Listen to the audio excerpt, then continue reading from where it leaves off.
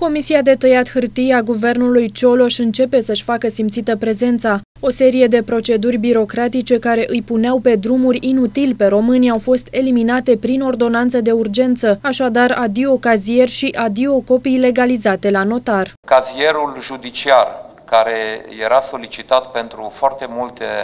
uh, decizii, sau uh, tipuri de documente oferite cetățenilor, acest cazier judiciar, conform cu această ordonanță de urgență pe care o propunem astăzi, se va solicita doar între instituții, în așa fel încât cetățeanul nu mai trebui să se plimbe între ghișee, să scoată cazierul judiciar pe hârtie de la un ghișeu și să-l depună la alt uh, ghișeu.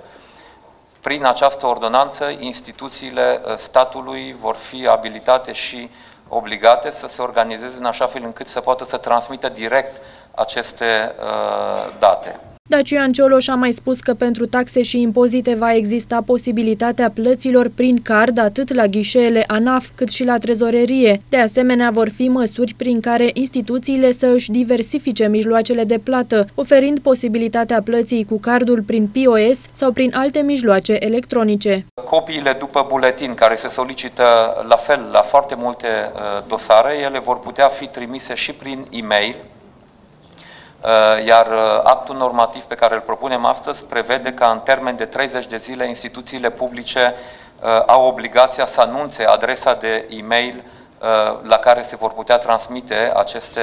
documente atunci când ele